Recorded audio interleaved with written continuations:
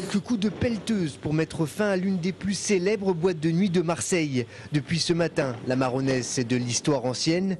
Fermé depuis 2009, l'établissement a été détruit. Une triste fin pour un lieu de fête qui faisait polémique.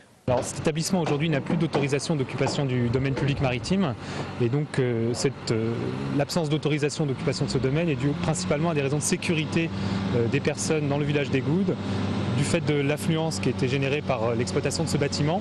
Il y avait parfois des files d'attente euh, jusqu'à 3 heures du matin dans le village et pour des raisons de sécurité, l'État a décidé de ne pas renouveler l'autorisation. Pour Jean-Pierre Balaguet, c'est un coup dur. Il était le patron de l'établissement depuis plus de 20 ans. Il occupait d'ailleurs toujours les locaux. Aujourd'hui, c'est tout ce qu'il a construit qui s'écroule. Personne ne m'a envoyé un courrier, personne ne m'a prévenu, ni la DDE maritime, ni, la préfecture, ni rien. Je crois que c'est un peu choquant quand même. Euh, hein, euh, pendant 20 ans, j'étais sur place, euh, c'est mon domicile, c'est c'est ma vie. hein. Bon, un peu de correction, un minimum. Après 53 années d'existence, la Maronnaise va donc disparaître. Et c'est la plage qui devrait en profiter. Ce petit bout de littoral sera en effet rendu au public après les travaux.